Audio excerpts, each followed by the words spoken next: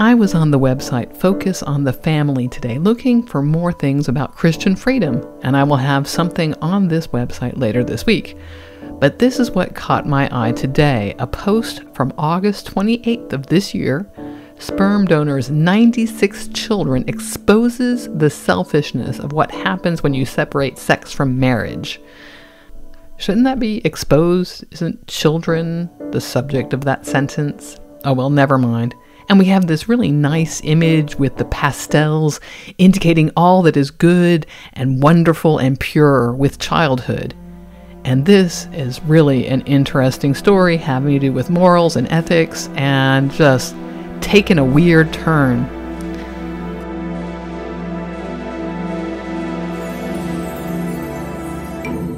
Hi, my name is Scarlett, and I'm an atheist and skeptic, and I like seeing what Christians have to say about all kinds of things. And today I want to talk about the morals of IVF.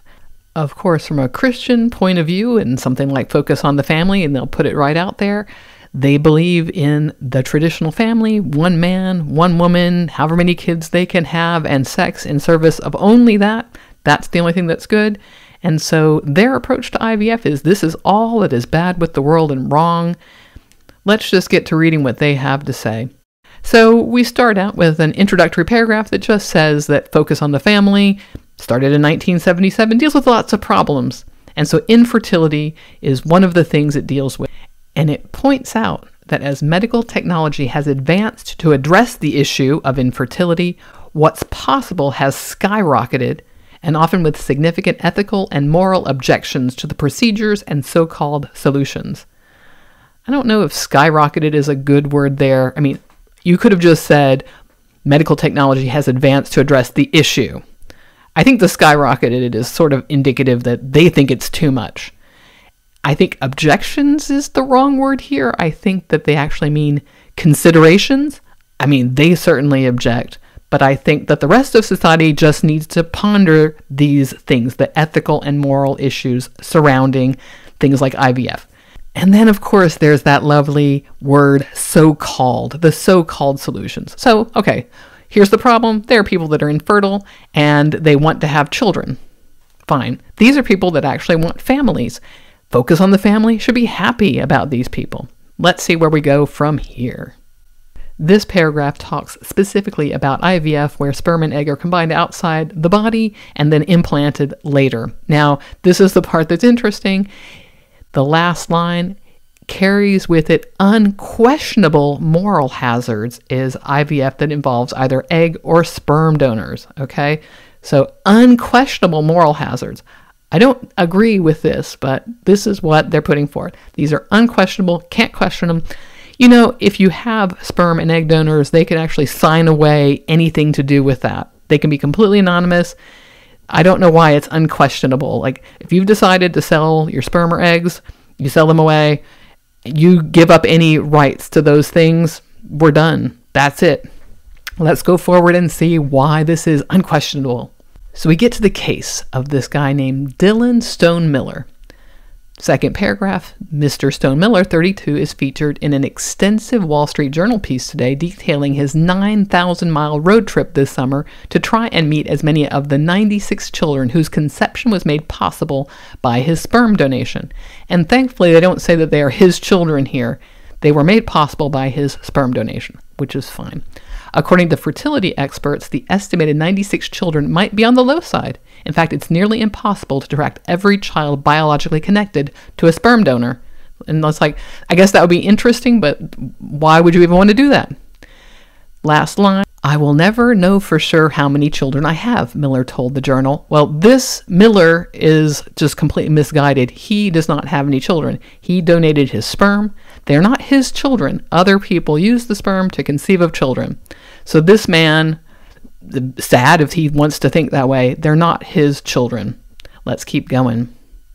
To date, Dylan Stone Miller has met 25 of the children. It seems most of them were born to women who identify as lesbian or to heterosexual women who are single. As it is, almost 80% of sperm bank recipients are same sex couples or those without a partner. Okay, fine. I'm not going to look up these numbers. I'm not as interested in the numbers. They might be right, they might be wrong. I'm more interested in the morality that the piece lays out. And I'm also not going to look up this Wall Street Journal profile. I don't have a subscription to the Wall Street Journal. I'm not going to pay for it. Again, I'm interested in what Focus on the Family has to say. So if anybody wants to go read it, knock yourself out. So we move on. The Wall Street Journal profile lays out a tragic and somewhat tortured journey, sizing up Mr. Stonemiller's predicament as follows. Those who have welcomed him to their home are trying to figure out his role a biological father, a donor dad, a visitor, or special friend. Neither parents nor Stone Miller are certain where to draw the line. And I'm wondering why the parents have to do this. It seems like they're being polite, and he has sort of imposed himself into this situation. And it looks like both the Wall Street Journal, I don't know if this is apt or not, because again, I haven't read the piece, least this line, seems to think that this is okay for him to insert himself. I take the position, I don't think it's right for him to impose himself into this circumstance. He is the donor, he's not a parent. Let's see where we go from here. How did Mr. Miller respond? It was hard to look my biological daughter in the eye and tell her I wasn't her dad, he said why would you want to say you're her dad? Like, why do you want to take on this role? You donated your sperm. You should have given up your right to do this. You shouldn't be in this position at all. The article goes on Of course, it's difficult because all of this is wildly and recklessly outside of God's creative design for marriage and human sexuality. Now, what I want to say is this should not be difficult at all. Mr. Miller should not be in this circumstance. He has imposed himself upon this, has nothing to do with God's design. And that's why I think that this focus on the family piece is just totally misguided. Like, if the kids want to meet the sperm donor someday, maybe they would. I don't know. There's a whole movie about that from a while back. But it seems like he should not be the one to initiate this and like the whole notion that God has a design is what's warping people's views of this. Let's keep going. Some may ask how sperm or egg donation is any different than adoption, since the children aren't biologically related to the parent in either case.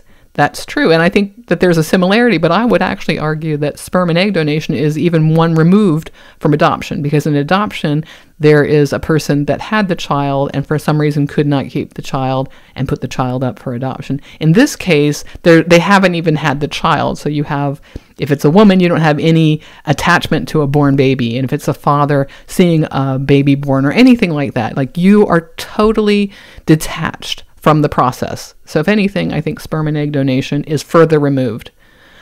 But we go on. According to John Stonestreet, president of the Colson Center, okay, Colson Center, I looked up, it's some kind of Christian thing preparing people to go out and teach the Word of God. Okay, so take that for what this is. This is the quote Sperm donation doesn't repair a fracture like adoption does. Rather, it creates a fracture, permitting and even incentivizing a view of children as products. I have no idea what is meant by a fracture here. Is the fracture just simply that there's a parent that can't have a kid? I don't know. It's it's not very clear. I what I see is we have adoption because there are kids whose parents can't take care of them for some reason, whatever that is. And in this case, when we have sperm and egg donation, we have people who want to be parents and they need some component to make that happen. I don't know how that is creating children who seem like products. This is a medical procedure, and like a lot of the medical services, you know, we have to pay the people that make that happen. It would be the same if I get pregnant and I have to go in to see my doctor every month to get a checkup. Would then my child be like a product because I'm paying to go in and have an ultrasound done or whatever? This is nothing like viewing children as products. It's it's not that people are thinking of creating children like they would create a doll in one of those toy stores where you can make a doll with a certain color hair or eyes and certain clothes or or what have you. It is nothing like it. These are people that want to be parents and they're going through a medical procedure to do that. And so, whatever Christians think of this, like you can agree, you, you don't have to agree, you don't have to do this, but this person's quote does not contribute meaningfully to this discussion. This is a person that has no idea. This person, this, whoever John Stonestreet of this religious foundation, has religious agenda to push. They're not like a sociologist or a psychologist or anything. Let's keep going and see where this crazy article goes. Read deeper into Mr. Stone Miller's life, and you discover that his incentive to donate his sperm while in college seemed to extend beyond the $100 per visit he received as payment. It turns out his girlfriend then conceived a child and sadly decided to have an abortion. Quote, I had a vision in my mind about what it might look like to have brought life into the world. Okay, um, you know, that's sad, I guess, if he wanted to have that kid and she didn't, and they weren't in agreement about that. Let's keep going because I don't have any more to say about that. Perhaps he thought his donation might somehow make up for the loss of their child. Okay, now we are just imagining, right? We don't know. This is something that this blog post posits. It's not something that the that is quoted or anything. Let's keep going. Dylan Stone Miller's story is more than a curious oddity, the spectacle of one man fathering hundreds of children. Okay, he didn't father hundreds of children, he donated sperm, and you're like making it sound like he has more responsibility in this. Okay, if even unknowingly, well, he donated the sperm. Okay, he, he should have known. Okay, back to the article. It's really a profound microcosm of a devastating consequence of what happens when you separate sex from marriage and usher in an anything goes moral free for all when it comes to bioethics. Well, whoa, that's just like a lot of words right there to say nothing. It says Stone Miller is sad that his sperm has been used to make babies, and that that's the only negative consequence I've seen. So I'm trying to say, what is the devastating consequence that this man is now sorry that his sperm has been used and he wants to be a father to those children? It sounds to me like he needs some work, some psychological work, let's say, on deciding what his role is in all of this. I guess I'm just at a loss about how the use of IVF is a moral free for all when we can have standards and rules. And so if you donate your sperm in this case, it's like it's not yours anymore. You're not the father. There are parents there.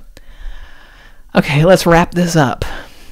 Advocates of the sexual revolution talk up personal freedoms and fulfillment, but leave off the fact that children are usually the helpless and innocent victims caught up in its wake.